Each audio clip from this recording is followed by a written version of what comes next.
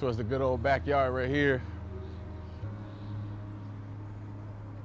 We had like the, the basketball court right here in the corner.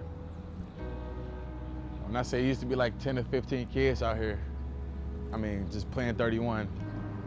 Used to be crazy. We used to have squirrels sneak through the attic and stuff, like scratching on the walls, like you hear it at night. So you're like, oh my God.